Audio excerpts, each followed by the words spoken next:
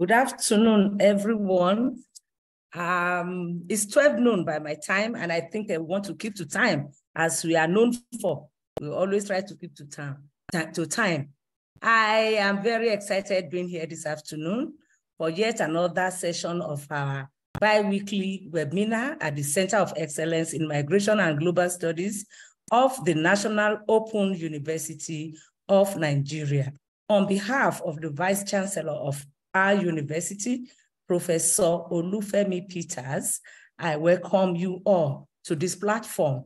I'm excited seeing some very um, important dignitaries here this afternoon. Everybody is important actually, but I want to just quickly recognize one or two persons before I go on to the presentation proper. I have seen our presenter of the day. That's the most important person here right now, Professor uh, Olapegba. You are welcome, sir. I can also see here two former vice chancellors.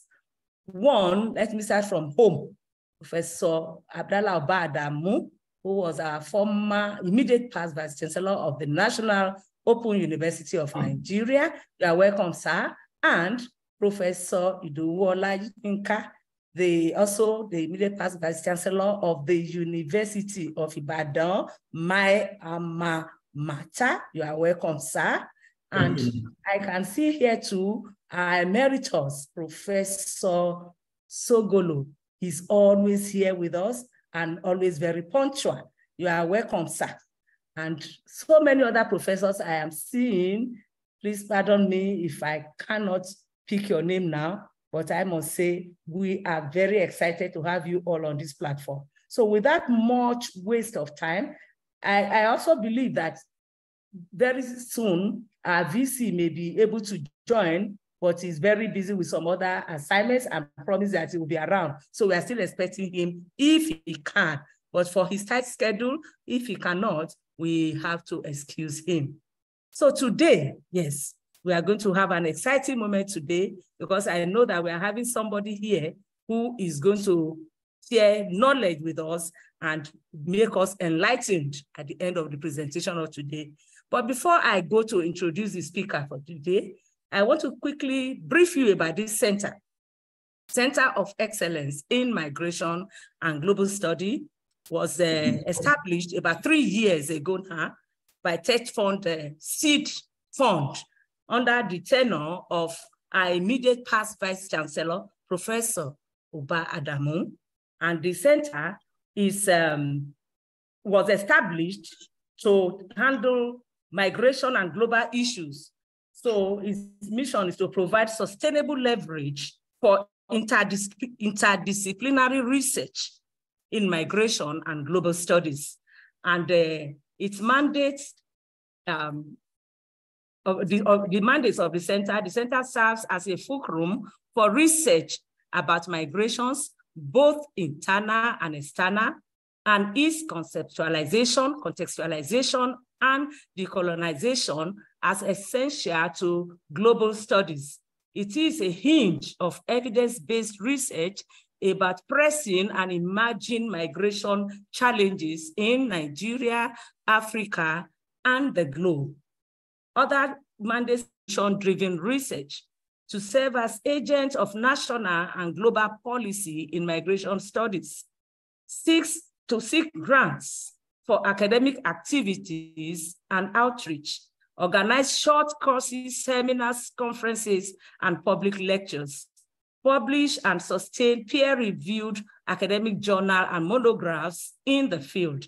It will seek and execute all memoranda of understanding with partners.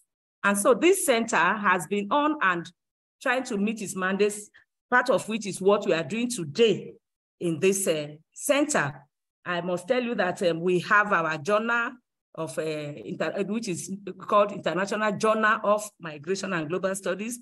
Now we are entering the third volume, first issue, and um, we'll have the seminars and we are also planning other trainings we are going to start training soon for postgraduate diploma in migration studies. We are on it and many more. So the center is working strong under the tenure of our current Vice Chancellor, Professor Olufemi Peters. And I am Gloria Aneto, the director of the center. So you are all very much welcome. Today, a very big scholar is going to discuss with us, and that is Professor, uh, Professor Peter Olamakinde Olapegba of the Social Sciences faculty in the University of Ibadan. So let me quickly say a little about his CV because his CV is a textbook. So there's no way I can really say everything about this uh, erudite scholar this afternoon. But let me just tell you a bit about him. Professor Ola, Olamakinde Olapegba is a professor of applied social psychology in the University of Ibadan, Nigeria. And he also trained in that university, all his degrees in University of Ibadan. That great institution. He's a full professor with, which uh, was with effect from 1st October 2014. He has over 100 publications comprising of books, chapters in books, and articles in internationally reputable peer-reviewed journals.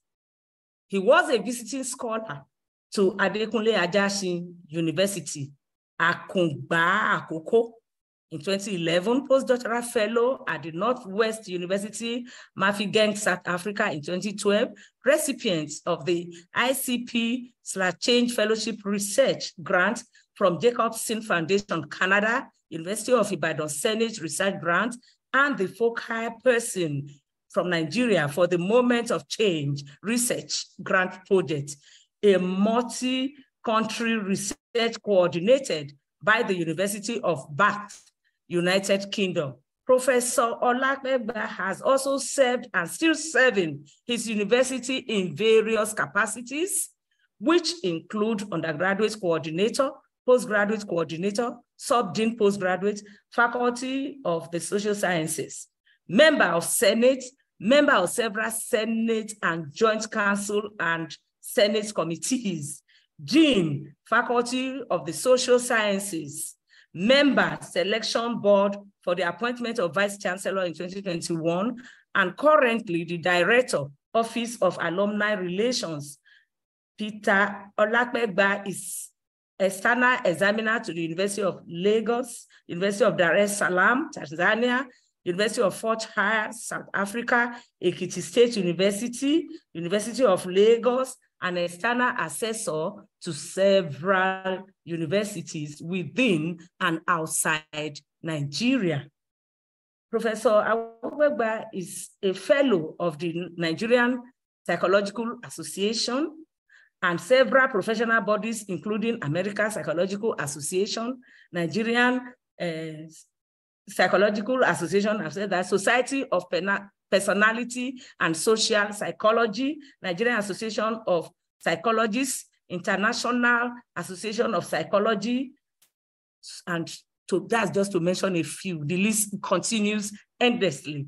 He is currently a member of the University of Ibadan Governing Council, Precious Cornerstone University Governance Board, Pan-African University Institute of Life and Earth Sciences, and was a member of the governing council, the Ibarapa Polytechnic Eruwa, or your state. He is the editor-in-chief, ASUU Journal of Social Sciences, member, editorial advisory board, Journal of Cultural Analysis and Social Change, editor, Journal of Positive Psychology and Counseling, member, editorial board, African Journal of Psychological, Psychological Study of Social Issues, among others. So I would like to stop here because we can continue till tomorrow, but let's go to the business of the day. This erudite scholar is going to discuss with us today the brain, uh, sorry, brain drain or brain gain, Nigerian academics and the JAPA syndrome. You know, on this platform, we had many JAPA syndrome discussion, but I know today's own is going to go in a special way because we have somebody who is a guru in the field. So join me to welcome Professor Peter Olamakinde Olapegba. You are welcome, sir, and you have been made a co-host to share your screen. Thank you, sir. Thank you very much, uh, Madam Director, for your kind words and for the invitation. And um, I want to salute all eminent uh, professors in the house, our, our living ancestors. Uh, I must make particular mention of Professor Sogolo, uh, our living ancestor uh, at the University of Ibadan.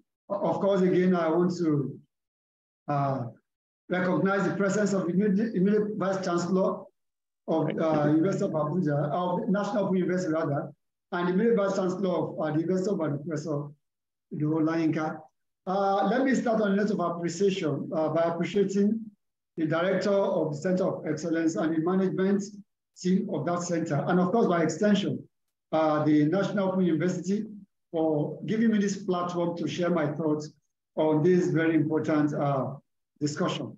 Uh, well, let me give you a bit of background.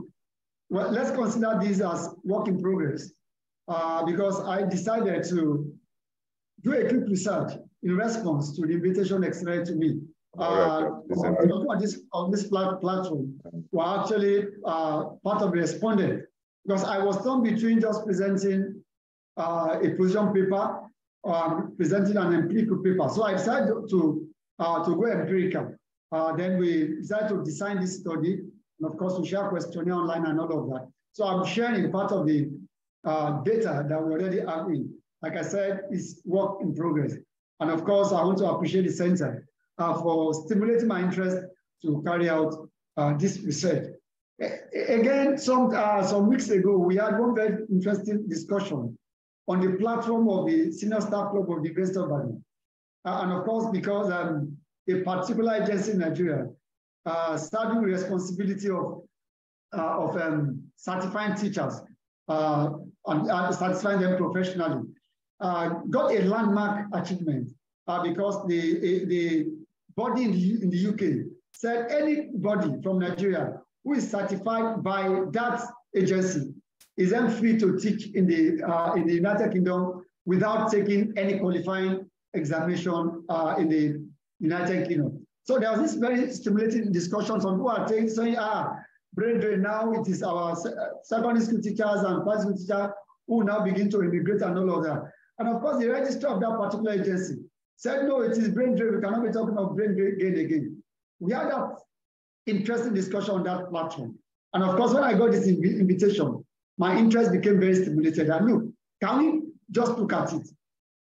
What we are experiencing in Nigeria, is it brain drain or brain gain? Uh, well, that is uh, what led me into uh, conducting this research, research is still ongoing. Now, when we talk of brain drain, brain drain is the migration of skilled human resources. Of course, it is, it is not new. Movement across borders is not new. People move every time looking for greener pastures and all of that. And of course, you will remember that sometimes in the 80s, uh, up to early 90s, uh, it was the turn of medical doctors to migrate heavily because Saudi Arabia opened its doors.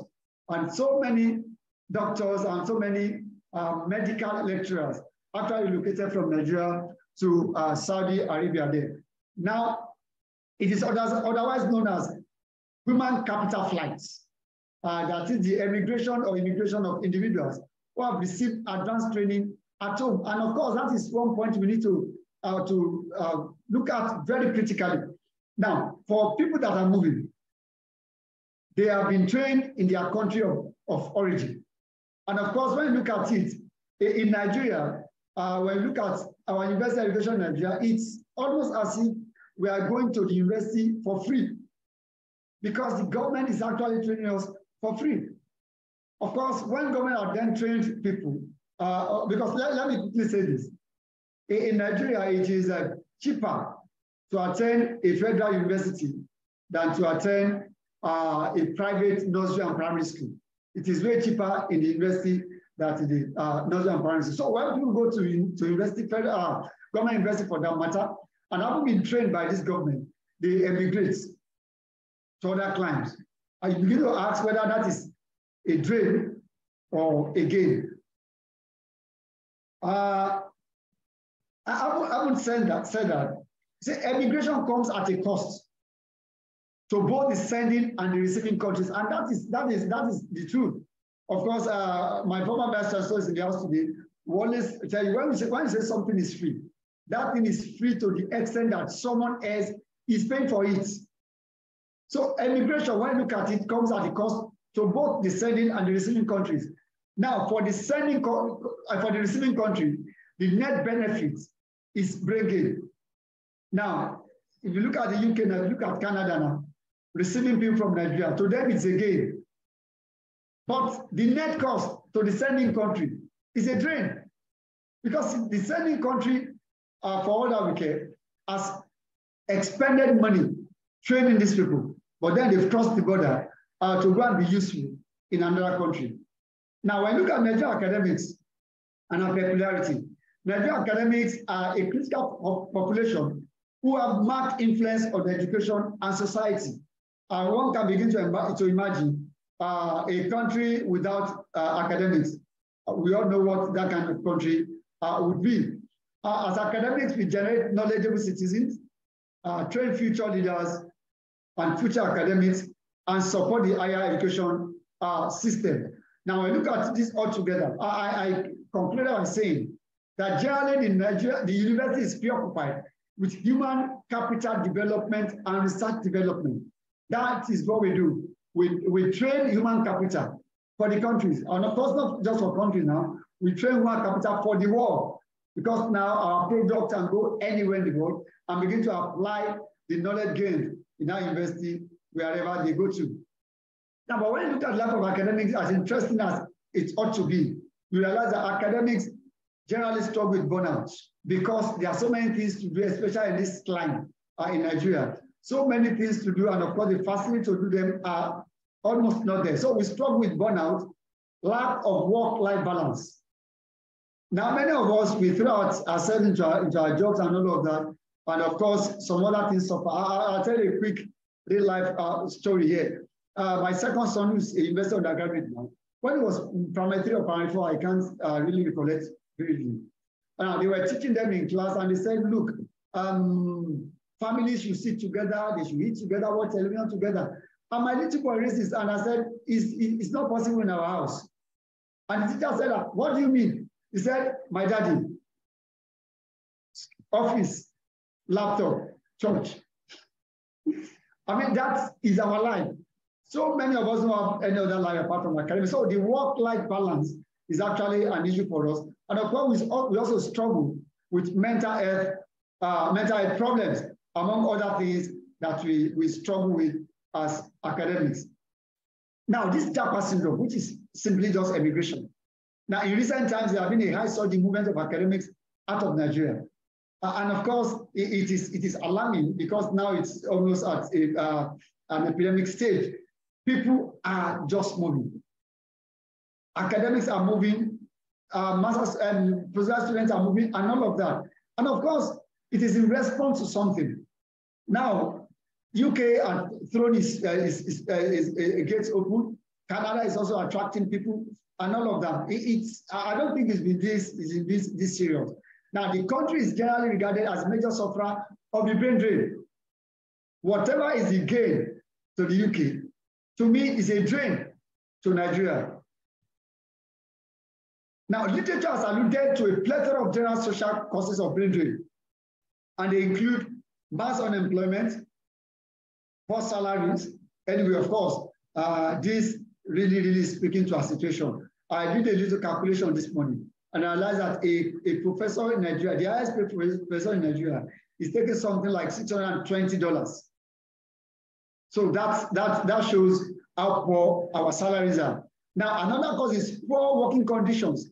Our working conditions are uh, nothing to write home about. Uh, we have a situation at Nigerian universities that professors are in cubicles. In fact, not just in cubicles, they are sharing cubicles. In some universities, you cannot really uh, access the internet.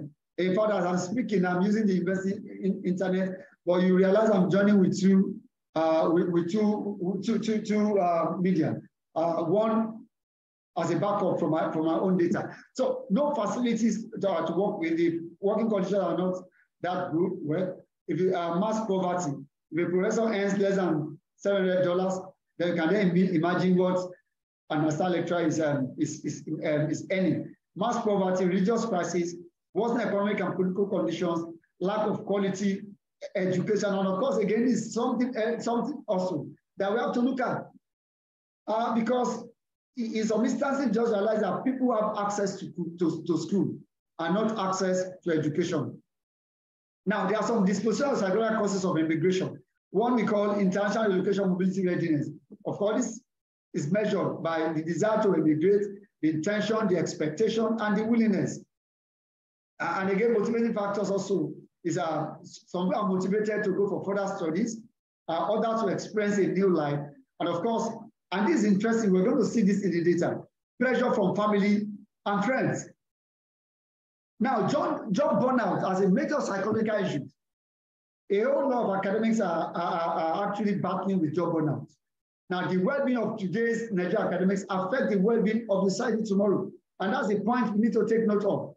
Now, if academics are experiencing burnout, it will definitely affect their productivity. It will affect the quality of their teaching, it will affect the quality of their supervision.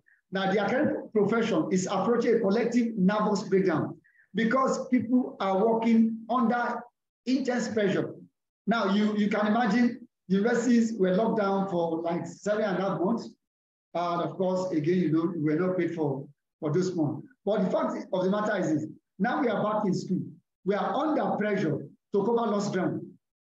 And of course, there's no way you, you, you put yourself under this kind of tremendous pressure that burnout will not come in. So everybody, the academic profession is approaching a collective nervous breakdown.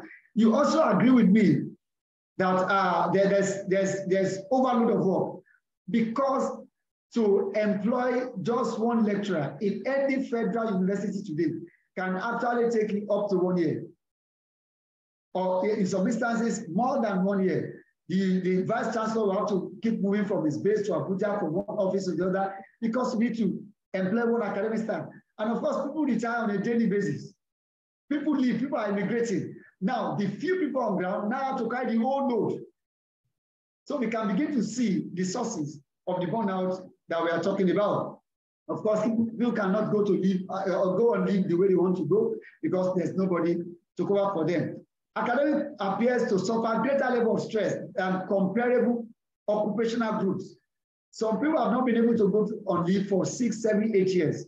I mean, when I was doing someone, when I was in my faculty, Somebody wanted to go on leave, and his government said, no, you can't go on leave because there's nobody to teach that course that you are teaching.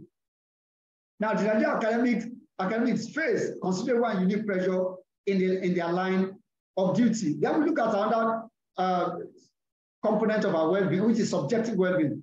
Now, this is conceptualized as individuals' cognitive and affective evaluations of their lives. When we talk to people now, how, how, how do you feel? We'll begin to hear tales because when people cannot even meet basic uh, basic needs, needs of their families, then their subjective well-being is compromised and heavily so. Those with high subjective well-being have high levels of positive emotions in teaching, high personal accomplishment in their role as teacher, and high overall life satisfaction. Of course, when your subjective well-being is high, you are motivated when you feel good with, with your life, you feel good with yourself, you feel good with your job, you feel good with your income, you are motivated to work, you are motivated to impact lives. Now, what are the theoretical frameworks we, uh, decided to use for this study? Two, two, two theories came to mind. Uh, there are two theories of motivation. The first one is Maslow hierarchy of needs. Of course, we'll discuss that in, in, in, in just a while. Then also the equity theory by Adams, 1963. Now, these are two interesting theories of motivation. For Maslow, human needs are arranged hierarchically and in order of importance. Of course, what Maslow did was to cluster human needs into five basic categories. Now, the lower order needs must be satisfied before the higher order needs. Now, let's look at what Maslow said those these are. According to Maslow, these are the five needs physiological needs, safety needs, love and belonging is esteem and self-actualization. Now, according to him, you cannot pursue these things simultaneously. You need to pursue one that is most important to you at that point in time. Now, according to Maslow, physiological need is at the base of the hierarchy, while self-actualization is at the very top. Now, let's look at the diagram. This Maslow's hierarchy of needs. Now, what are physiological needs? Physiological needs are actually the need for food, the need for water, the need for sex, and all those uh, physiological kind of thing you need to satisfy. According to him, you cannot begin to think of moving on to safety, to other safety, safety when you have not satisfied your physiological needs. So according to him, you need to satisfy physiological needs. When you can take food for granted, you can take water for granted, you can take sex for granted, that is when you begin to think of safety.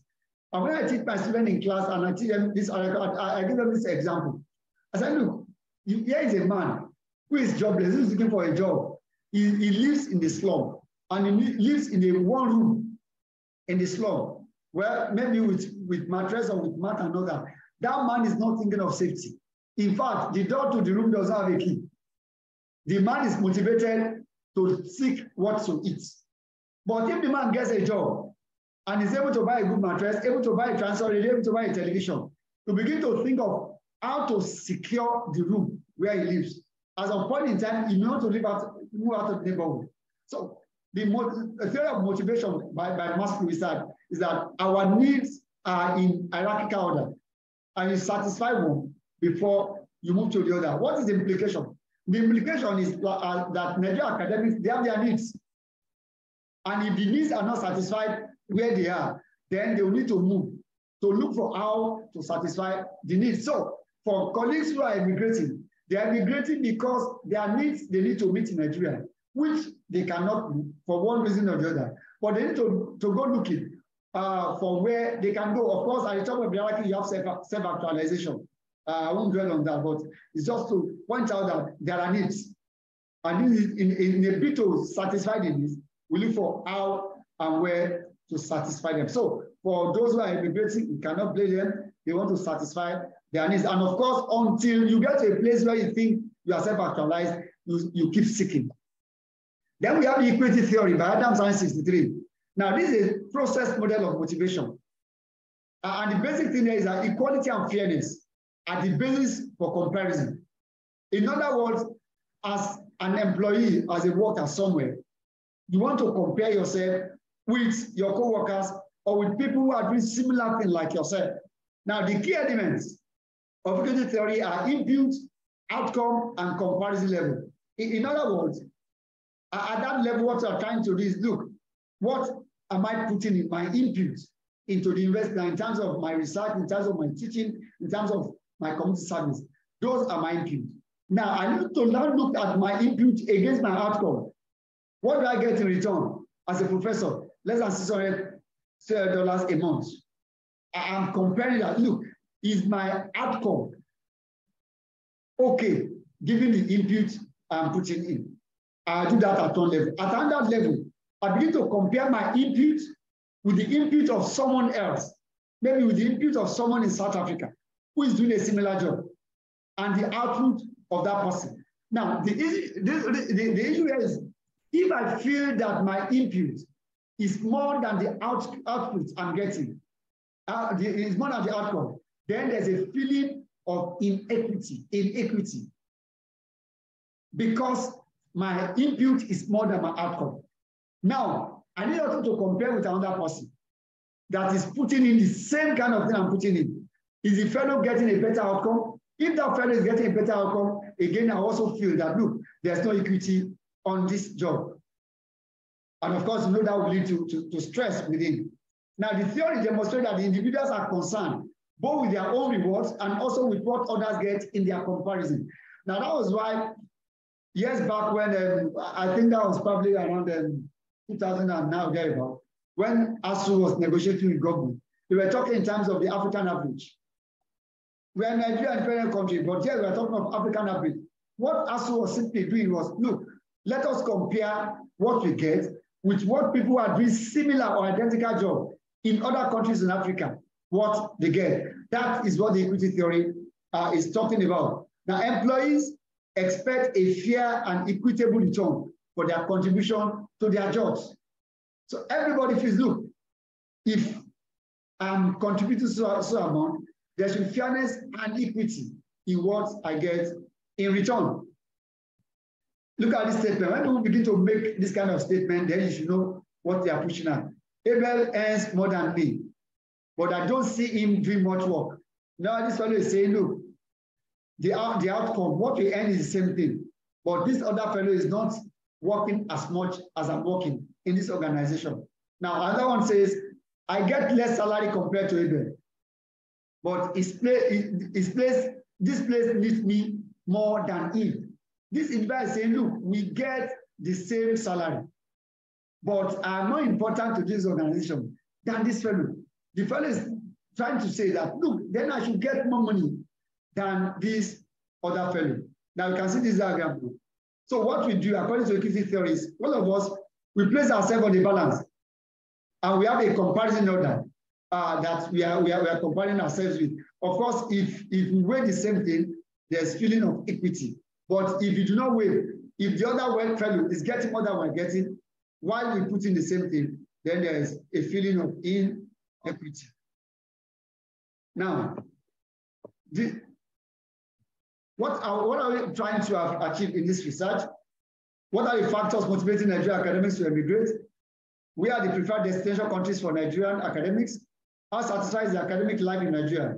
What are the emotional costs and consequences of working in the academia? Well, I would say we investigated. We are still investigating. I, I told you this is work in progress. The relationship between immigration and the syndrome, job burnout, and subjective well-being among Nigerian academics using descriptive and uh, inferential statistics. Now, the instruments that we use in collecting our data, uh, we use the General Mobility Readiness Scale by author 2004 uh, to measure the JAPA syndrome, that is the immigration syndrome. Then job, job burnout was measured using uh, the Oldenburg burnout inventory, 2010. Then subjective well-being was measured with a subjective well-being life satisfaction scale by Diener et al. And of course, we consider certain social demographic variables like age, gender, relationship status, uh, number of direct dependents, uh, and so on and so forth. Now, the methodology. This is a cross-sectional survey. And the population of studies, academic staff in Nigerian universities. When we pushed out the, the online um, questionnaire, 279 academics responded. And of course, this is impressive because we, we only pushed it out for just one week. So in one week, we got 279 academics that responded uh, to the questionnaire. Uh, sampling technique, we use, we use purposive sampling and snowball. Uh, let me try to explain that. Purposive because we predetermined the people wanted to sample, uh, wanted to sample Nigerian academics, which means we had to send our questionnaire directly to them or to platform uh, where we have strictly uh, uh academic staff. Uh, and Snowball, because we also encourage us to give uh, or send to colleagues, we also encourage that they should also help us to push out to other colleagues. Now, the procedure for data collection, well, e-questionnaire using Google Forms, uh, we design the questionnaire on Google Form and we send uh, distributed electronically among the Nigerian academics via WhatsApp. And of course, one interesting thing is we, we didn't push it just within our, our domain. We pushed it uh, to, to other states of the Federation where we uh, encourage colleagues to assist us uh, in distributing to other academic staff. Now, what are the results? Well, the age range of respondents was 25 to 76. When we look at, we, we had to interrogate that data to say, why do we have 76, uh, 70 is the, is the retirement of academics? Well, we then realized that some emeritus professors are also on this platform, and of course, they could also, and of course, uh, we could have academic staff who are contract staff in some other places also responded. That's why we have, uh, that's uh, above 70 uh, in our respondent. The average age was 46.95, standard deviation of 9.95. Uh, average tenure of that is uh, average years is spent teaching university, 14.68. Uh, 61.45 of this uh, of those who responded are males. So the, the, the remaining uh, about 30 point something uh, were females. Of course, that tells us that uh, probably we have more male academics than female academics. 83.2 uh, married, 53.5 are parents to at least three children, 61.5 holds PhD or fellowship, 29.7% have never traveled out of Nigeria. Now, why do Nigerian academics wish to emigrate out of the country?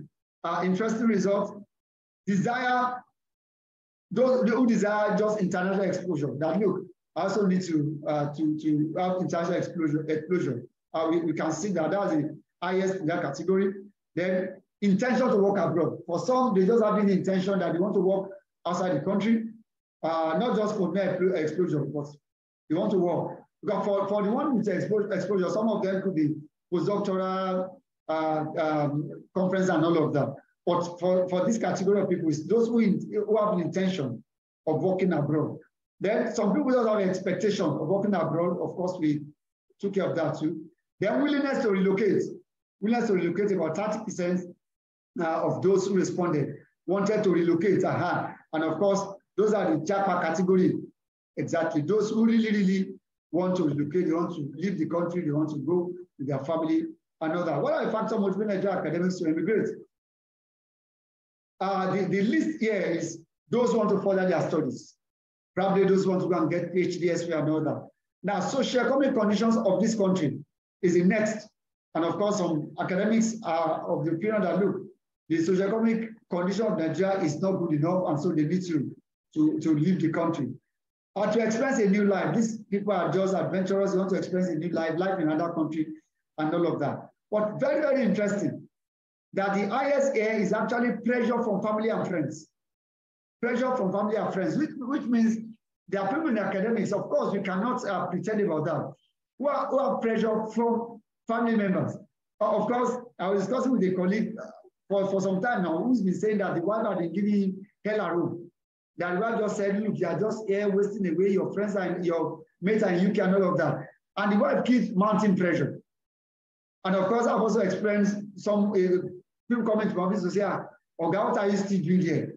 You also should jump now. So pressure from family and friends is also another thing, uh, especially for colleagues who travel, or they keep talking to colleagues down there to say, ah, you are still there. When are you coming over? And all of that. Now, where are the preferred immigration countries for Nigeria academics? Canada scores the highest here. People want to go to Canada. And of course, the, the, the let me put it like that. The craze for Canada just started a few, a, a few years back. Uh, it used to be UK, US, but now Canada had actually overtaken, followed by US, uh, UK, followed, that's like uh, almost 80. Uh, then other European countries, Australia. Then some of our colleagues still want to emigrate to countries in Africa. Well, of, of course, when we begin to talk of Botswana, South Africa, even Ghana here, and all that, Arabian Gulf, and of, and of course, uh, we can see the rest there. Now, so we decided to then look at the relationship, the correlation between all these variables. Of course, we use the uh, the, the, the social, social demographic variables as dummy variables, just to run uh, this, this correlation. And of course, we see that the immigration motive correlates positively with the, the, the, the immigration wish. And of course, subjective well-being correlates negatively with the immigration wish, and of course also correlates negatively with uh, the immigration motive. Now, job burnout also cor cor correlates uh, with uh, motive, with wish, and of course, negative correlates with, with burnout. Uh, burnout of age also correlates uh, marital status also, also some positive correlation, some negative correlation. Now, the interesting thing is that all these variables significantly correlate with one another, but some positively, some uh, negatively. And of course, we look at all this together and we uh, actually came up with our discussion and our conclusion. Now, most Nigerian academics design international exposure and intend to work abroad, but not emigrate permanently. You see in that I think that was the first line that I mentioned about that. People wanted exposure, and that was, was the highest. So it, it, may not be as bad as um, as we are reporting it or has been is being talked about. Uh, we realize people want international exposure, which means if they have this international exposure and then there's funding for them to go on conferences, to go for uh, sabbatical, to go for um, postdoctoral and all of that, they will go and they will come back. So a whole lot of our people desire international exposure, desire, desire to work abroad, but not to emigrate permanently. Then many academics are planning to relocate out of Nigeria, mainly due to pressure from family and friends and worsening economic Now, these were the two indices that, that, uh, that were highest in, in, in, in, the variables that we, we interrogated. The pressure from family and, friends is actually the highest. So when we, of course, I will see some things, of course, some, some of these we cannot be talking about publicly, uh, that some of our colleagues emigrated, mainly because wife, their wives and their family put pressure on them. And unfortunately for some of them, uh, by the time they get there, they cannot continue as academics for one reason or the other. So, um, I mean, the wife now become a nurse or become something, and the man becomes uh, the supporting striker in, in, in the house. So, I mean, we, we should take note that um, colleagues some, some of our colleagues are emigrating due to family, uh, family and friends pressure. Then it wasn't economic crisis. Of course, when you look at the economy of Nigeria, everybody would come to uh, to realization that things are not as easy as they should, be. So people begin to think in terms of relocating. You know, uh, like they say, the grass is always greener on the other side. Well, the, whether it is actually greener or, or, or, or no, uh, it's, a, it's a question of when you get there, uh, you will see. You know, someone once said that before you know the, that the giant rat is not in, in its own, you must have dug the hole uh, to the very end. So until you get there, you cannot know whether the grass is actually greener. But then the worst economic crisis in our country is pushing colleagues to emigrate. And of course, that is that, that is a fact. If a professor is any less than $700, and this professor has family and other dependents to, to cater for, then you can, the professor may begin to think in terms of going abroad and making some pounds or dollars that will cushion the effect of the poverty is exposed to around them. Now, like uh, as earlier stated in that um, chart, Canada, USA, UK, Europe are the most preferred uh, locations. Or, of course, uh, people are going to Canada, but then the whole of people are also going to UK. In fact, the, the UK, it appears that it's easier to, to enter UK now uh, especially with the student visa. So we even see colleagues already have PhD applying for uh, master's degree program in the UK uh, just to get um, uh, to get the visa, which would include the family. And in some instances, it's the wife that will apply for the master's degree. And of course, because UK now says, okay, if you are coming for a master's, you can come with your family. And after your program, you are even given two years extension to remain in the UK and work. Now, majority of Nigerian academics are not satisfied with their life in Nigeria. That is very true. They felt worn out and becoming disconnected from their jobs, but they hardly had bad mouth the academia. And this is where the, the, the, the, the love for the job comes in. Now, these people are not satisfied. Many of us are not satisfied with, with our lives, given the conditions under which we work, given the remuneration that we get, we're not satisfied. And of course, because the facility to work also not there, we are easily worn out, easily burn out, and all of that. We are in, in, a, lot of people are disconnected from the jobs, but they are still pushing on. But then you hardly find us about matching the academia because we still have a belief in the system. We still believe that the academia is the best place for us to be.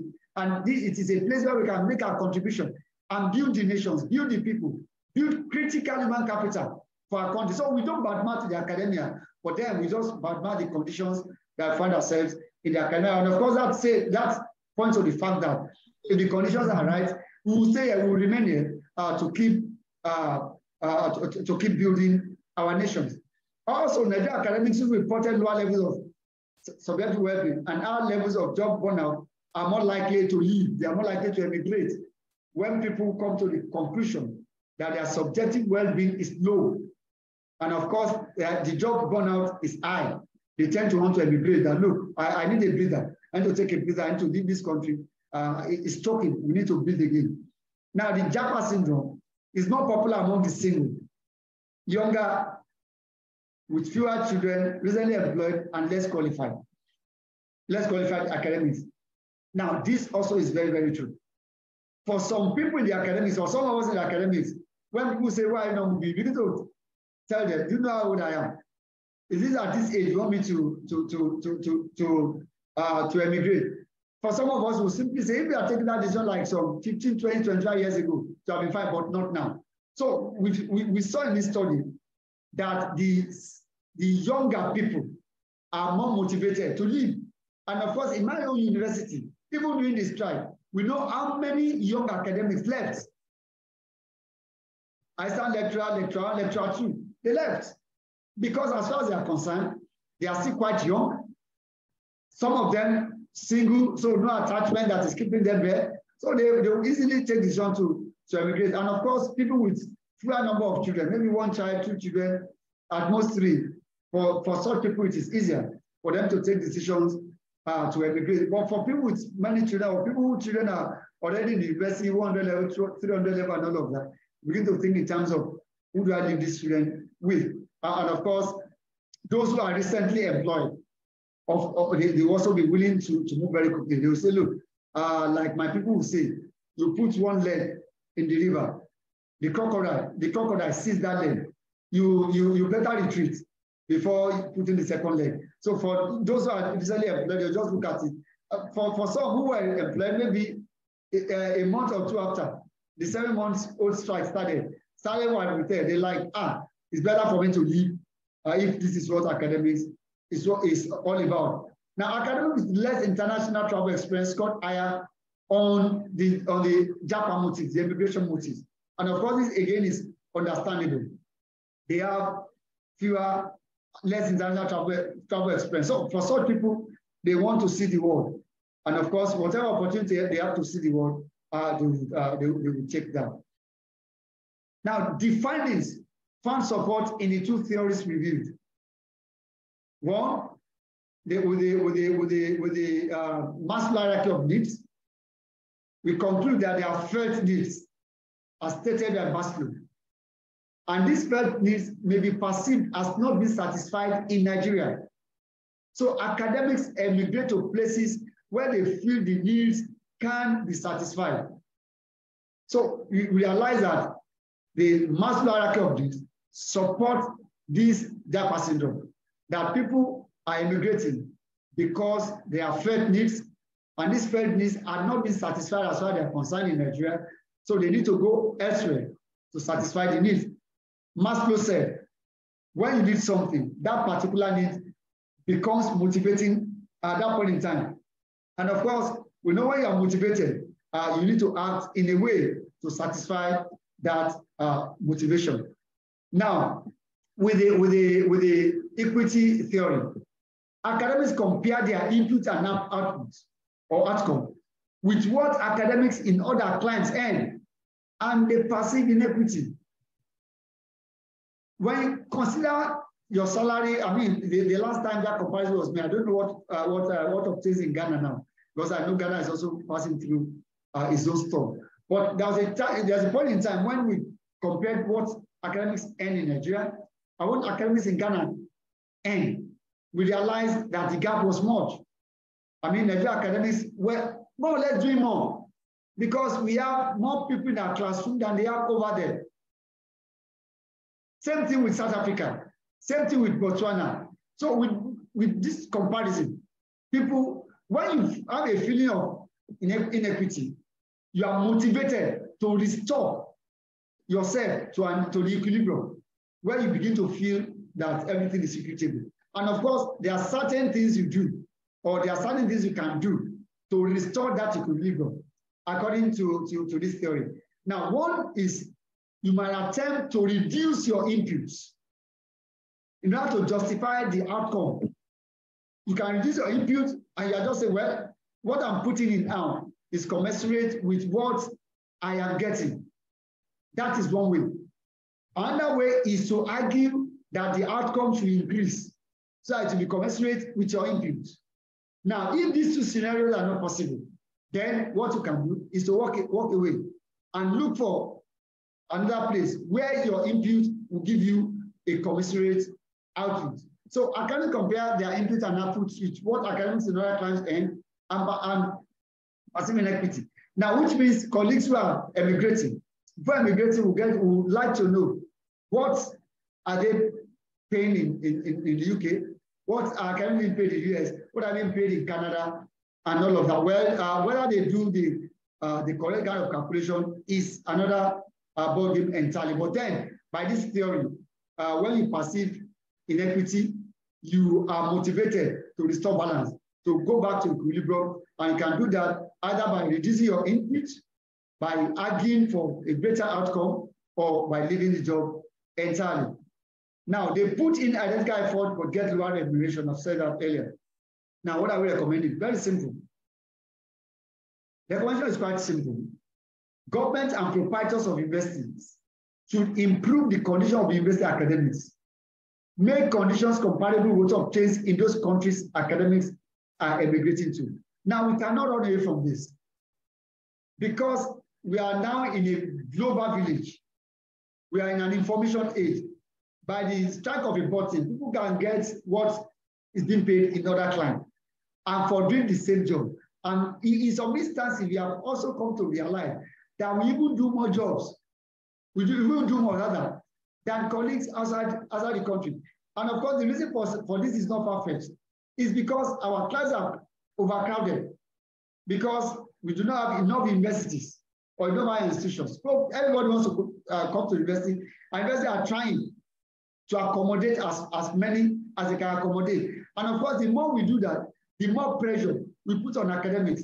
So when people are now running sessions, running semesters back to back, yet they are, they are getting penal, then immigration uh, will be inevitable. So government and proprietors of university should improve the condition of the university academics, make conditions comparable with what obtains in other countries academics are immigrating to. Now, each time the, the, the, the staff you know, in Nigeria negotiate with uh, the federal government, it's usually an upward task.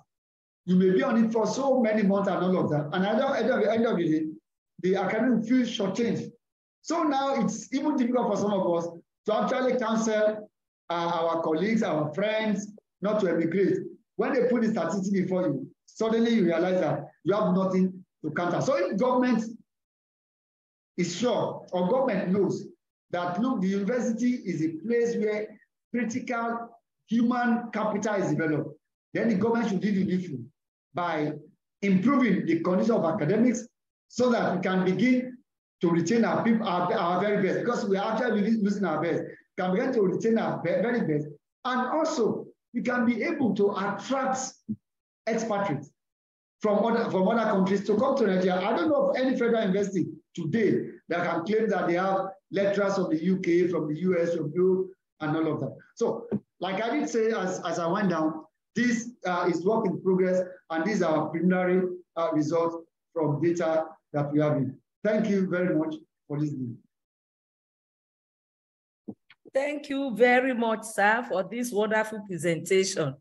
I think uh, I enjoyed every bit of it, perhaps because uh, I'm an academic, but I believe that everybody, almost everybody on this platform is an academic, and um, we are going to have a, a nice, fruitful discussion on this paper. Thank you so much, sir, for that uh, wonderful outing. You're so welcome. I can see some hands up. People are ready to talk. I think I saw Professor Akim Akinwale first then Emeritus Professor Sogolo, then Professor Abdalla Uba Adamu, and then Professor Fashogmo. So let us go in that order. Uh, all right. Uh, first of all, I'd like to congratulate the speaker for at least uh, bringing back our minds to Maslownian hierarchy of uh, needs, uh, which is what we are all struggling for. But I think uh, what, what is lost in the in the lecture is the motivation that people have for JAPA. I was 35 years old when I was Fulbright scholar in the United States at the University of California. And I never felt that I really want to stay there, despite the beautiful environment and uh, the salary that I was getting as a Fulbrighter. So for individual motivations, uh, really work. Last year, at the age of about 66, I was given an opportunity to work at uh, Commonwealth of Learning in Canada. I rejected it uh, because uh, I, I, cannot see at the age of 66 myself moving out of Nigeria and then starting all over again. So the whole idea of whether you want to get out uh, or stay in Nigeria depends on your own individual personal motivation. ASUU has been screaming and shouting and going on strike about the condition that he listed has been necessary for us to, to, to remain in Nigeria, not to go out. There's nothing new there. And uh, the, the comparison with the dollar and the naira, I think you need a greater economic analysis. $600 is nothing if you are living in the US, but 450,000 naira is a lot if you are living in Nigeria. We, we tend to lose sight of the fact that when we do all these conversions, we, we, we, we ignore the prevailing economic circumstances of the societies that these things are being applied to. Uh, Nigerian academics earn about 450,000 naira a month. And uh, unless you are the person with four wives and 20 children, 450,000 naira enables to basic survival, basic survival. I didn't say it's enough, but you, you cannot compare it with earning $600 in the US because you cannot survive there with that amount of money. So I, I think there's a need to, to rework the conception of uh, the economy. I mean, Hakim is living, is staying in the US now. He'll be able to tell you whether whether the money that he's earning there enables him to live the way he wants to, to, to, to live. Finally, uh, the questionnaires that uh, uh, are given out, I just wanted to know, maybe I missed that, where the questionnaires given to Nigerians who have actually migrated outside Nigeria, or were they given to people who are still in Nigeria but are willing or thinking of migrating because of what they consider to be bad circumstances. Uh, it is very critical. A person who lives out there will have likely to have a totally different perspective from a person who is still here and who wants to live. Uh, so it, it will be very interesting, very interesting to know uh, whether the, the questionnaire was given to those who are relocated. They're in Australia, they're in uh, Germany, they're in the US, they're in the UK, they're living there, they have migrated, and we're, we're, we're measuring their opinions rather than somebody who's in Ibadan or he's in BUK or ABU and we're asking him to fill a questionnaire about whether he should migrate or not. When you discover, when you compare the two perspectives, you find that there's a radical difference. So once more, thank you very much for at least uh, bringing our attention to a very critical point. Like I said, I have to go up to the mosque, but I will be back. So yeah. don't go away. uh, okay, Prof. Uh, probably I should just quickly respond to, to the two issues you raised because we are leaving for the mosque. Now, on the, on the issue of um, the conversion, now the thing is, when we begin to talk in terms of equity and motivation, the Nigerian economy is collecting 450 today, and we say six $600 is something. That man, a couple of years ago, his salary, if he does the conversion, is, is over is, is over $1,000. Now, so if he does the conversion, the man feels within himself that I am worse off. It doesn't matter. Whether he, he feels he's worse off because Two years ago, I was earning close to $2,000. Today, I'm earning less than $700. It does something to his psychology. And of course, once that thought comes to you, it affects the way you think. It affects so many things you do. And on these participants, uh, the academics that are still in Nigeria that will distribute the questionnaire to, not those who have already emigrated. Thank you. Thank you very much, sir, for that response. So can we hear from Professor Akim Akinwale, please? Yes, good afternoon. And uh, I salute uh, Professor Lakwegba, my former colleague. We were together in the Faculty of uh, the Social Sciences before I flew away from uh, University of Ibadan, not out of Nigeria, but uh, to private university. So, and before I flew back again to University of Lagos about 11 years ago. So maybe that's another dimension of uh, Japa. I Japa from uh, University of Ibadan. to other universities in Nigeria. So that's on a lighter uh, note. So Professor Lakpegba's uh, presentation is very fascinating, very lively and uh, realistic, interesting. I enjoyed it. And uh, because he's a psychologist, he has been able to analyze the reality from psychological perspective. So and because I like his work, I want to advise on the theoretical framework. And possibly I may be I may be wrong, and he will now educate me if I'm wrong, because it's in psychology, you, should know better the suitability of theories. So what I'm thinking is that uh, the equity theory is fine. It's perfect because it's a, it's a process theory, it's a behavioral theory. But the Abraham Maslow's uh, hierarchy of need, uh, I think uh, there's a better theory that can replace uh, Abraham Maslow's theory. Because Maslow's theory is, uh, is a content theory, and the decisions of academics are usually based on uh, complex uh, behavioral uh, issue. So academics uh, consider a lot of factors before making decisions. And the, the result of this uh, presentation clearly indicated that. So subjective well-being, pressure from friends and family are what have. So, Prof, I think uh, Herzberg motivation hygiene theory will be stronger than Abraham Maslow's uh, theory to explain that uh, aspect of the of the findings. because basically it's like uh, there is uh, experience of uh, dissatisfaction and lack of motivation. And those two critical factors come out clear in your findings, Prof. So in addition to that, I think you need a labor market uh, institution theory because institutional enablers or barriers mediate in the decision to migrate. Not every academic that want to even japa is able to do so because there are institutional barriers. Some are not even interested in japaing, but because of this uh, family, friend pressure and institutional enablers, if I have a brother in Germany who, who want me, him, by all means, all he has to do is to put in place or press on buttons, get a job for me over there and you know, encourage me to come with his own institutional, whatever, whatever, everything will uh, just, uh, you know, work out.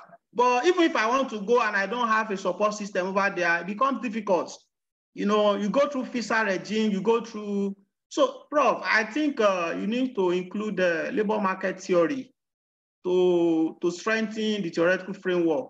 Equity theory, if possible, Asbach, motivation hygiene theory, and a labor market theory so your work will just uh, move, move to near perfection.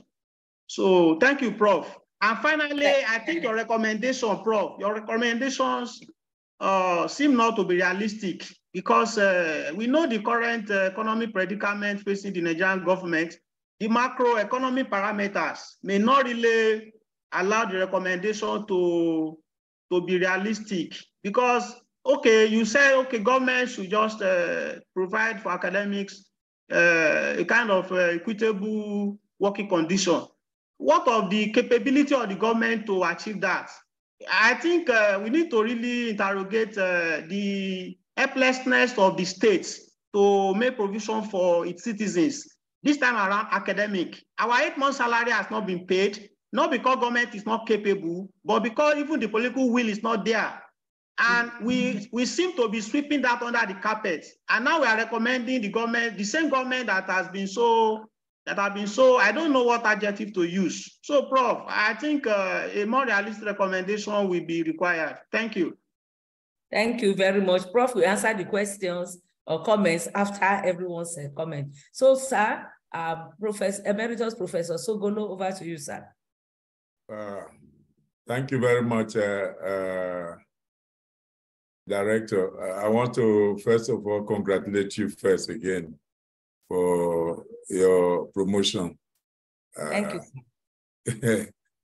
now, uh, it's, it's, I always uh, feel very, uh, you know, excited when I see my Badon colleagues, uh, and there are many of them here. Professor Lepeba, uh, it's nice uh, seeing you our former VC, Professor Idowu Olayinka, and, uh, and my friend, uh, Professor Samaila Mande. They're all around and many others. I'm, I'm happy to see you. Now, this is Japa. So, you, you know, the Japa business, or it's become a business really, uh, because we talk very much about it. It's very trendy. And uh, this presentation is one really based on research. And that really increases the value of what we have uh, listened to uh, today because it's based on real uh, research. We're talking about equity theories, and uh, talking about variables, a lot of other things that, uh, you know, uh, determine or, you know, throw great light on the, the motivation to want to leave uh, uh, Nigeria at this particular time. I'm happy that, you know, the professor talked about the age factor as one of those uh, variables. Because it just you know it takes my mind back to the 90s you know. I, I had the urge to really go to the US and and settle there you know I, I started went to Binghamton uh, in uh, uh, New York State you know up north and uh, you know I spent six months there really in the you know Institute for Global Studies with uh, Ali Mazrui. And after six months, I must confess, I got tired. You know, I was able to get the green card because my wife is uh, partly American, partly uh, British. So it was easy for me to get the green card. But I must say this, that for me, settling abroad was not anything that, you know, I, I didn't quite like it at all. Uh, I found that it was, or it is in Nigeria, that you find a lot of fulfillment in many ways. It's unfortunate that many people are, you know, being forced to really uh, leave this country.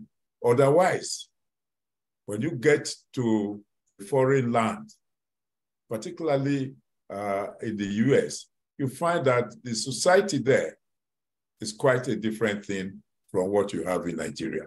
And so the fulfillment, life fulfillment in many other respects, It's not exactly the same. But of course, you must live. You must get good salary. We are going for some other reasons. Uh, not because you are looking for fulfillment, but I'm saying that the social aspect of life, the status, the recognition, all you find here in Nigeria are not there.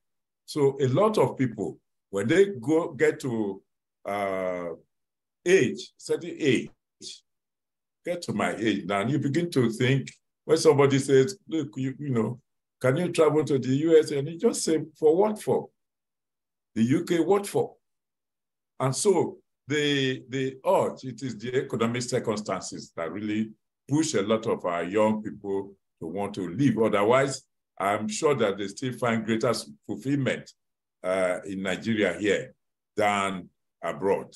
So I, I, think that the age factor is very important and it should be uh, emphasized.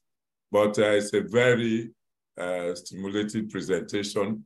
I congratulate uh, Professor Lakwewa. I'm glad that uh, you know we continue to meet, and uh, I also want to congratulate the Center of Excellence for always bringing this excitement. You know, uh, it used to be every week, but this time we're getting it uh, regularly. And uh, my friend Professor Abdalla Uba has left. He's gone to the mosque. I wanted to say hello to him. Thank you very much, uh, Director. Yeah, thank you, sir. He said he's coming back. So okay. we still see him, sir. I think yeah. there was, uh, is it Professor Fashogmo? I saw his hand up. Is he still interested in speaking? If he's not there again, then Professor Mande, then Professor Idowu Olayinka wants to make a comment. So let us go to Professor Mande, then Professor Idowu Olayinka. Thank you. All right, thank you very much, uh, the center director and uh, Professor Peter Olapegba. Thank you for an excellent presentation. I must say that uh, what you've done is basically exposing the situation that we now have today in, the Nigerian academic situation. And what is key is that there are other factors responsible to this uh, JAGMA development. And uh, like Prof said, no matter what, age is a very critical factor. You can't be at the age of 50 above and be talking about japaing. What that means that there are challenges. So, but the key issue is that we first of all have to ask ourselves, what is our value system? It is our own inability not to appreciate our own value as citizens of the country. Because when you have value for yourself and you have value for your nation, there are so many things that will assist you in taking such decision. No doubt about it, in your presentation, you talked about the situation whereby people japa because of sheer pressure from the families. Yes, I totally agree with you. In fact, it has gotten to the extent that some families that are there are currently doing some menial job. You can imagine somebody who has a PhD, even an associate professor who now emigrated from Nigeria, but is now right there having challenges. So these are something that has affected not only those in the academia, but other people in other sector of our own society. There is something that I feel I should also let us know with this kind of engagement. There is this activity by the Technical Aid Corps. It is also now a channel whereby people now emigrate outside this country, and when they get out, they find it difficult to come back. Instead of respecting to the contract of engagement, so it is something that we need to look at it clearly and see how we can move on into that. And then because of the way things are, your presentation is quite clear, but I would have loved to get some recommendation that has to do with applicable situation. Because the era we are today, because talking about the triple helix model, with these challenges, what are the action that should be taken? The academia has made some exposition, which is what we have done. What do we expect the industry to do?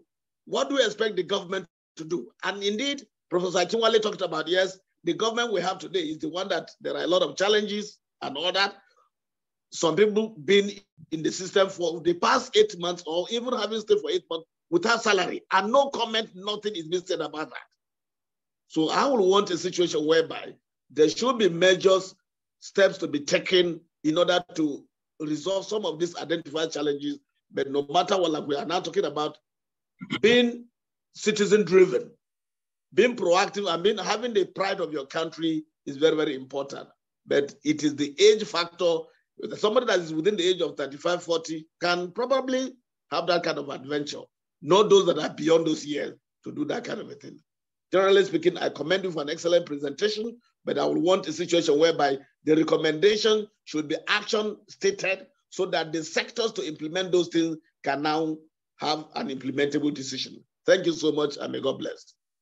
Thank you very much, uh, Professor Mande, for that uh, contribution. And so let us have uh, Professor Idowu Olayinka to make his comments. Uh, thank you, Madam uh, uh, Coordinator. Again, I join Professor Sogolo, our boss, to congratulate you on your elevation to full professor. I, I, think I want you, what thing one can say about the lecture presented by Professor Olapegba is that it's not controversial. I mean, in terms of uh, the deductions. I mean, of course, I also responded to this uh, questionnaire, and I'm 65 years old.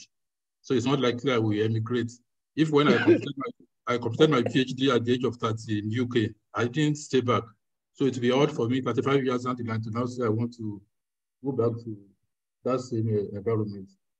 But, but again, even what I Professor Samaila Mande said, I mean, it's also it's, it's.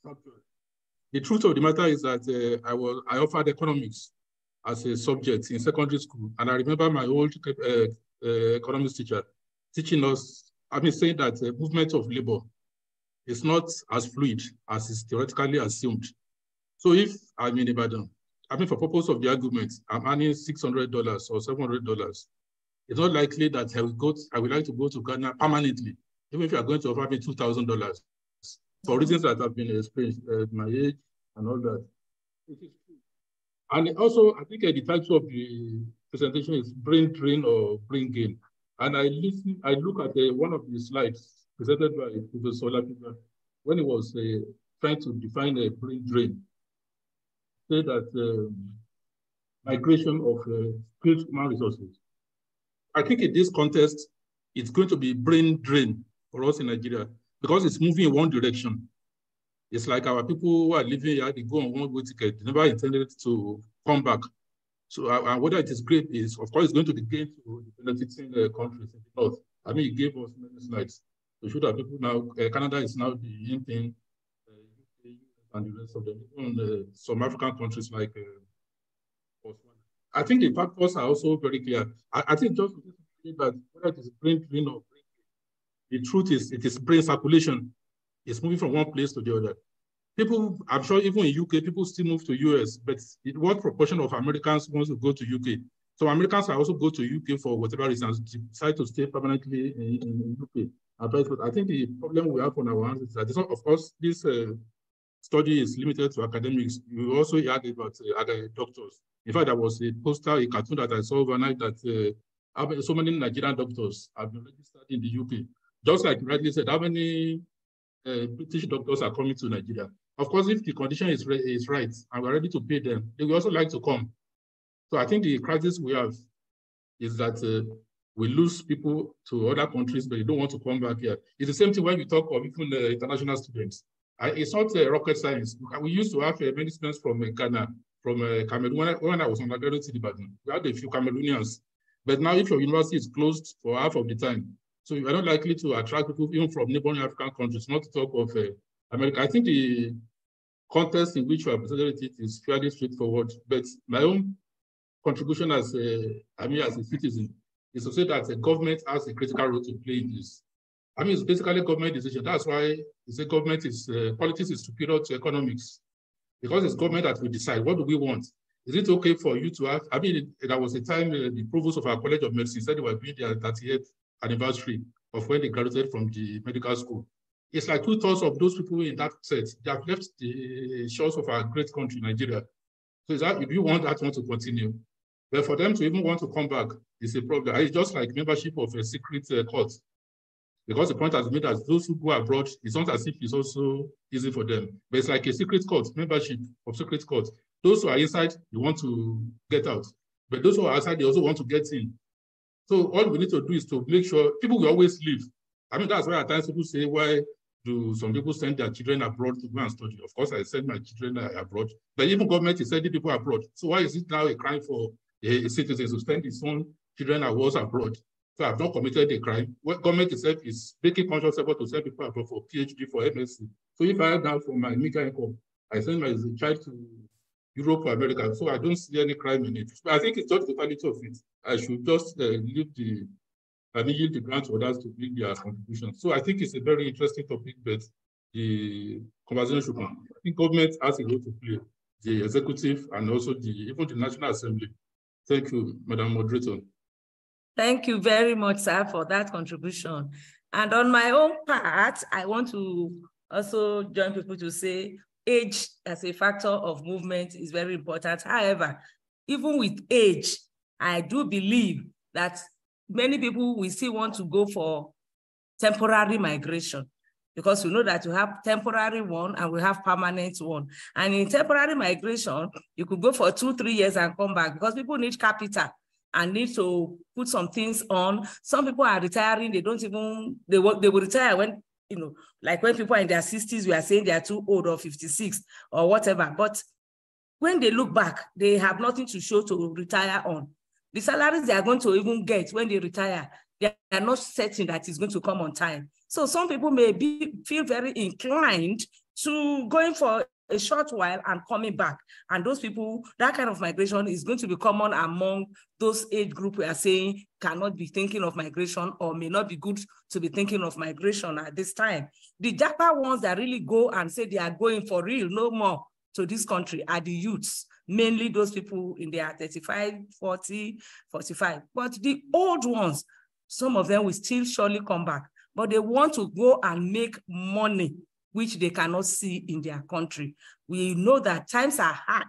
And when we finish talking here, people go back, they cannot live in the type of homes they want to live in. They are still living in rented accommodation at 60, 65, and they have seen somebody saying, come and do what you are doing in your country, not to go and wash gutters or go and wash cups, but to come and lecture and they want to have some capital. I think we should look at that angle. Thank you very much. And for now, I don't think I can see any hand up. Can I just make a point? Yes, sir. Yes, sir, yes. you can. Yes, I think your uh, the intention when you when you leave, when you japa, uh, it's not always fulfilled when you get there. The situation, most cases, is different. You find that you get in there, uh, things are not what you expected. And um, the longer you stay there, the more difficult it is for you to want to return. Because you find, particularly in Nigeria, you find that uh, those who left, some of our colleagues who left in the 70s and so forth, got trapped in the, particularly in the US. When you get to the US, you are lured into the lifestyle there. You settle with your family and you find your day-to-day living very, you know, exciting. You're getting everything. So planning ahead becomes difficult. And most people who stay in there after about 10 to 15 years find that the returning will become a, a problem. Because first, the colleagues they left behind have gone ahead, you know, uh, developed, you know, far more than they, they have. Most of them, you know, find that they don't have even any or houses at home. So when they come back, they become strangers. And uh, so it makes it more and more difficult for them to return. I just want to correct that point. It's, it's not easy for you to say, I want to go for two years, three years, and I, I return. You find that you, you returning can be difficult. Thank you. Trying to speak. So over to you, sir. Professor Fashog, over to you. Uh, I want to congratulate my my prof for the for the beautiful presentation. Because uh, to be precise, this uh, work is is is in line with my uh, my ongoing PhD work, and uh, I have some other, I have some fact that can as well add to what he has said, because on my own part, I have conducted series of uh, interview. Even I even got to a university, to be precise, one of the College of Medicine, a whole department, all the academic staff there, they've left and even the, the, the provost of the college was telling me that even when the NUC, that they are expecting NUC and you could just imagine what the, the report of the NUC is going to be. And in the course of my own, my interview, conducting interview with uh, medical personnel, I mean medical lecturers and engineering and tech, I discovered that the age factor, which most speakers have actually emphasized on, has been a germane factor. I spoke with a lot of professors as regards this. Majority of them actually affirm the word, I mean, the, that age as a germane uh, issue for the JAPA syndrome. But sir, uh, the, the, I want to quickly ship, ship in something as regard the theories that were adopted for the study. I, I want to, I want us to look at the, uh, the social theory the, the social theory actually emphasizes some factors that in as much those factors are still in existence, that brain drain will still continue. And these factors are weight differentials, differences in political atmosphere, uh, uh, cost of living, and the likes. So I want Prof to, as he has presented it and the conclusion and that of the recommendation actually covers that. But I still want to tap from his pool of uh, knowledge as regards some other factors that could be identified and that could be explained for, because this is a serious issue. Like I've said, I've gone to almost six or seven universities now, University of Ibadan inclusive. And if you visit the College of Medicine and some part of tech, you know that the brain drain is a serious problem in the Nigeria University. So that is Thank my you very submission. Much. We Thank you, my professor. Uh, please, uh, there's one, uh, is it Professor Adigbite Sonya? Please quickly make your point. And I also want to say there's an Infinix note we always prefer names. And we cannot call Infinix Note to speak uh, because uh, there's no name there. Uh, Please uh, kindly put your name, then you may speak. Yeah. After yeah. yeah. Yes. Uh, good uh, afternoon to everybody in the house. And uh, let me join others to say, I mean, uh, to greet my uh, erudite professor, the presenter in person of uh, Professor Olapegba. So the areas where I just have, I mean, um, feelings is the application of the uh, hierarchy needs of the Abraham Maslow.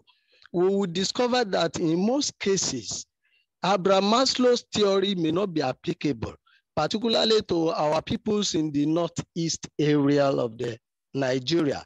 In most cases, you will see that they want to satisfy the security needs before physiological needs. So in that sense, I will have, uh, I will suggest that the uh, Professor Olapegba should just, I mean, think about uh, applying another theory that will be more suitable. You understand? So that our people that are that want to leave the country uh, because of insecurity could also participate in that uh, studies. Then uh, I don't know whether I heard well. There was a point where you were um, uh, mentioning uh, that Nigeria does not have, I mean, enough universities. I don't know whether I heard you well, but uh, to me, I think we have even more than enough, but we don't have a viable ones. Thank you very much, sir. God bless you, sir. Thank you very much. Uh, now we allow um, we allow our presenter to speak. Sorry, we like to identify people with their names. So over to you, presenter, sir, to comment. Thank you very much, uh, uh, the professor and director. Uh, well, um, let, let, me start with um, Professor Akinwale from Unilag, who jumped from UI to Private University and back to Unilag. Well, he, he, spoke about the, uh, the theories and all of that. Those comments are well taken. I, I would just like uh, you to note, like I did say earlier, that this work in progress, and that um, from conception to presentation now uh, is just two weeks. And I did say that this is just a preliminary uh, report from that study. So we have not really, really interrogated that data deep enough. When I got this invitation, I decided to present something on migration because I'm going to the Center of Migration. Why should I present something that is um, at variance with what they do there? So I conceptualized this study. And so we spent two weeks, uh, like uh, Professor Lainka said, uh, he was one of the people that responded to the questionnaire, like some other people on this. So your, your points are well taken. Um, Professor Akinwale, would, as we go on in the study, would um, will continue to refine it and all of that. As a recommendation, fine. Also because the data are not fully in and not fully integrated, uh, interpreted. Uh, as we go on, we'll come up with more germane and very um, uh, facts-driven uh, recommendation. Uh, our living ancestor, Professor Gulu. Well, th thank you very much, Prof, for your very kind words and for, your comment. You, you, see, when we were talking, sir, it, it occurred to me again that in your days, in your days and that I immediately followed you, Immediately, those who studied abroad, immediately they finish their PhD, they will come home. I remember late Professor Abubiri telling us that, look, the day he defended his thesis in the UK, he left for Nigeria the following day, that they sent the certificate to him. Why? Because the condition at home then was comparable to the condition in those places where you studied. The now was strong and all of that. So the material to come here was, was there. But now people are looking for a way to escape, to just go and um, and, and, and forget about nature. So these are the issues. So I agree with you. And of course, you've also validated uh, what we found in, in, terms of the age, that the younger people are the ones who are living another. And then you, you, you mentioned something about fulfillment. People are looking for fulfillment. And wherever they find it, they will go for it. Well, where they think the fulfillment is, they end up being a mirage. Because I, I think one of the, after we've done with this study, one of the things I also like to get into is to actually conduct a study among, among our people who are emigrated. to, to document their experiences over there. Because I have a suspicion that what they, they, they thought they would get are actually not what uh, they are getting. And Professor Solo raised the point, which is something I've been telling people, that our people who had traveled out of this country 10, 15, 20 years ago, and they are not really, really coming home. They are not coming home because they are stranded. They are stranded. The system over there are trapped them. The word, Prof use the word trap. So we need to, to, to engage. So fulfillment is actually a motivating factor. People want to, people have their dreams. And so if those, those dreams are not being fulfilled here, uh, they, want, they want to move. Well, my, my, my friend and brother, Professor, uh, uh, Professor Mande, uh, thank you for your kind words and all that. And I've, also, I agree with you on the issue of what our core values are. But then the thing about our value is that you may hold a value there. You may hold a value very, very dear. But if there are alternative circumstances, environmental circumstances that are over, overbearing and not, not allowing you even to express those values the way you express it, at some point in time, we may begin to compromise those. So some of our people are leaving. Uh, probably it's because there are circumstances that is making difficult for them to express themselves and to aspire to achieve what they, they, they, uh, they, they hope to achieve. Of course, you also mentioned uh, that the technical aid corps is another route now that people are taking to japa. Well, again, on recommendation, like I said, as we as we continue, we'll, uh, we'll give more data during recommendation. Uh, Professor Olayinka, thank you very much for joining and thank you for responding to our questionnaire and for what you said here today. Uh, Prof also spoke in terms of the currency conversion thing.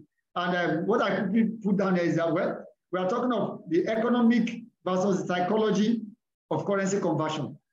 Now, if you begin to talk in terms of economic indices, that's why we begin to talk about what $600 can do in the US and what can do in Nigeria. But when you, when you consider the psychology of things, of, of it, which is individual thing now, that will motivate you to take certain decision. If you remember that your salary was worth 2,000 naira some years back, and that same salary is worth 1,000 naira, uh, uh, less than 1,000 naira now, it does something to you. And again, the world we are in today, you know, as an academics, there are transactions you want to make in dollars, spending your personal money. Maybe there's a book you need to buy online. Maybe there's a conference you need to pay for online. Now, that is when you suddenly realize that the economic interpretation of the conversion may not really work now because you just realize that a, a conference that you could pay for with your salary three, four, five years ago. Now, your salary had increased in Nigeria, but that increased salary can no longer pay for the conference that you're able to pay for easily five years back. That is when the problem comes in. So we, we are talking not, not just in terms of the amount of money, but really in terms of the purchasing power, especially when you have to purchase something outside of income. So we, we can consider the economic uh, implication, but even the psychological thing, I'm more interested in that because I'm a, I'm a psychologist. And thank for the word you use, Professor Lanka, the, the word brain circulation. In fact, I need to go and look at it again. And of course, if, if I get it correctly, in a situation, if someone from the UK moves to the US, we can call it brain circulation. Because it's not moving to the US because, um, because of poverty or because of anything or because uh, it doesn't have um, resources to work with and all that. Probably it needs a change of environment, it needs, it, it needs fresh challenges. Such a person can move. And of course, as someone is moving from the UK to US, another person is moving from the US to the UK. So brain begins to circulate. But in Nigeria today, what we have is one-way traffic. Brains are moving from Nigeria to the UK. Brains are moving from Nigeria to the US. So that to us is brain drain. We are being drained, and we need to look at it. Uh, and of course, I like your analogy of the secret court thing. And that's why I said I, I will also be interested in studying the experiences of migrants over there. Because you use the analogy of, of the secret court. Those who are members of the secret court who are inside, they are looking for a way to go out because their experiences within the, the, court were at variance with their expectations. And so they want to move out. But then those who are looking from outside, I say, I want to join them. I, I think that explains that explains our, our, our situation because we, we still know a couple of people who in the UK who are saying, look, boy, it is not as good as uh, they make it uh, to be. Mr. Fashon, thank you for, for, for your comments.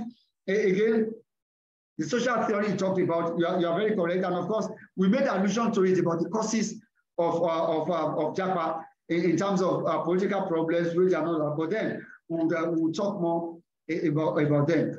Uh, Director, thank you also. You also brought in one temporary migration. Uh, and of course, I talk in terms of temporary migration, that people want to move. Well, before now, that I, I will agree with that. But with the way we are approaching the JAPA thing now, uh, the temporary, the temporary migration, or some want to, uh, of course, you see, migration has always been with us. And as academics, we have only migrating. But how were we migrating before? We're migrating in terms of going for conferences, going for short courses, going for sabbatical leave, going to activity. And of course, we had such opportunity where we're moving. So we have people who move, in fact, on a leave of absence. You go to the UK, spend two years, spend three years, come back. That, that is fine. But for those who are talking of japa now, they are not talking of going, going to work for three, four. Do you know there's another dimension to it? We've seen retired colleagues who are relocating. I mean, at 70, they retired. I, I know one or two uh, around here who retired and relocated with the wife. So we begin to ask ourselves, what, to what end? So that means there are issues within our environments that are forcing people out. A whole lot of people are living, they are not happy living. But there are issues here forcing them to, to move. Uh, well, um, I think someone, uh, okay, it was um, Professor was talking that uh, asking government to do it is not realistic. It is realistic. It is government that will take the the and put in place a enabling environment to retain people. If government is alive to, to its responsibility, the government should notice a trend that is dangerous. Now, we, we, we've agreed here today, from data and from comments of people, that the younger ones are the one moving. Now, a time will come within the academics that there's going to be a generational gap. When you just look at the academics and just realize that, look, there's a gap between a particular generation and another generation. And when are the people moving? The very best will be the one that the system will attract. So which means those who are just barely managing the, the academics are the ones who retain to continue to teach our children. So we need to look at all of this. Uh, Mr. Adegbite, thank you. Maslow has a short, uh, other, uh, other companies has a shortcomings. And like I said, this is a work in progress. And of course, we need to take the strong part of, of Maslow to explain certain things. Not that we agree with everything that, of course, one of the criticism of, of, of, of, of, of Maslow theory is that those things Maslow has cast in iron are actually not cast in iron in reality. That an individual could actually skip one, two steps, depending on what is motivating at that point in time. Now, the last point here is you say you, you, you do not agree that we don't have enough universities in, universities in Nigeria. I, I want to plead with you to agree. And I'll give you just one simple assignment to do. Just look at how many people write, sit for JAMB exam every year, and look at how many JAMB is able to admit. I, I think JAMB is admitting less than 15%, less than 15% of those who apply. So the question is, where do you ask others to go? We are talking of a population, a country with a population of about 200 million. And a larger portion of that population is looking for placement in the university. So we do not have enough university as it were, because we need to see how many do we, you see, it is because, again, because university are not being taken, well, well, uh, well taken care of. The, the facilities are not expanding. But then you have people who want to come to the university. Just look at the, the, the, the, the, the population increase in Nigeria. I mean, we are just we are just multiplying. I want to take care of all of those. Thank you very much. All right, thank you very much. But uh, I just want to seek your indulgence. There are two people who have raised up their hands since, and uh, we want to give them opportunity. But just to quickly respond to the last point, sir, of there are enough universities in Nigeria. I strongly agree with you that many people write JAMB and they don't get admission. These universities in Nigeria, you are talking, uh, the person is talking about that are enough, are probably private universities which the people cannot afford to pay for. But the government universities are not enough. So maybe we should qualify. There are okay. not enough government universities in Nigeria, but the private ones are left for the rich. Sorry, my own opinion. So uh, let me quickly call uh, uh, is it Dr. Grace Adu, Adejuwon? Professor Grace Adejuwon. Okay, Professor Grace Adejuwon, followed by Professor Tijani. Two, two minutes because we are really running out of time to make their comments. Thank you. So very much, uh, the director, and uh, I want to thank the presenter for an excellent uh, presentation. Uh, as has generally been uh, pointed out in this uh, presentation and by uh, other people have commented, the majority of people Japan uh, are people who are uh, what we know we can categorize as, as people in their emerging adulthood stage. And developmentally, these people are in their emerging adulthood uh, stage have developmental tasks, which include career uh, satisfaction. They want to be satisfied with their career. They want to be fulfilled. They want to get married. And there are other social pressures around in the country. And because of the lopsided uh, conditions in our country whereby uh, policy has not really taken care of this, the needs and the values of this category of, of people. You have so many of them looking in search and in search for these values, these needs to be meet, to be met in other parts of the world. And that is just, so this study for me has done a good job, even though it's a preliminary study, has done a good job to provide, you know, a database shedding light to the issue of policy. You know, what, is uh, wrong with our policy in Nigeria? That, yes, we have institutions of learning who are supposed to uh, make provision for admission. And then in the, in the, in, in the uh, organizational in the industry, they're supposed to get employed or we develop uh, them uh, to, to, to become entrepreneurs. And we have a lot of challenges. Of course, those who are entrepreneurs who establish businesses, they also have serious challenges as we speak in our country. So the issue of people moving out, they move out because of the value system they have and because of the needs that they that need to be met in their lives. So when they get to wherever they go to, they quickly, some of them adjust, some of them don't. But the, the, the, the problem, as has been mentioned, is that there is no system that helps them to come back if they want to come back. So finally, what we get is, is just a brain drain and not a brain gain. So I, I really want to uh, suggest that this, this study, as it has shed light on the, the age group, age group that is actually uh, involved in this um, in this uh, uh, thing, it, it means that government, the attention of government and other organizations is being is being the it's being called up. Yes, these are the people who will hold Nigeria uh, and make Nigeria strong tomorrow. Those are the people who are living now, and we need to to uh, to, to to to our attention to be pointed to that, so that we keep them, we motivate them, we meet their values, and so they stay. Thank you so much. Thank you, thank you very much, man. So, Professor Tijani, please, the last but not the least. Can yes, I will. I will be very, very brief. Let me start with uh, Professor Adejuwon's uh, uh, conclusion, uh, particularly with age.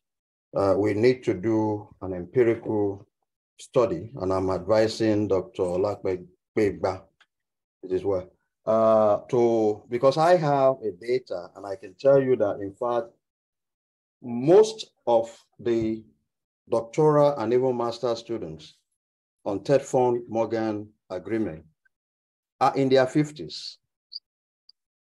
And I know of so many, not within the age bracket of 20, late 20s and 30s that want to jackpot or have jackpot utilizing the policies available legally. But let me go back to this enabling environment that uh, the professor also mentioned. Uh, we need an enabling environment. As he was speaking, pardon me for joining late. You know my errand uh, early, early morning uh, during the week. I checked my pay slip last April 1991. I was a lecturer too. My pay slip was, let me be factual so that I can share this with you. We'll get to the bus stop. My gross is uh, 1,404 naira 56 kobo. 1,000. This is April 1991. Pay advice. Lagos State University, Badagry. I left LASU on Commonwealth Scholarship 1994. 1997, I returned. For three months, I could not enter my own office. Three good months. I was harboring between the gate men and Baba at uh, the main gate and the library. Why?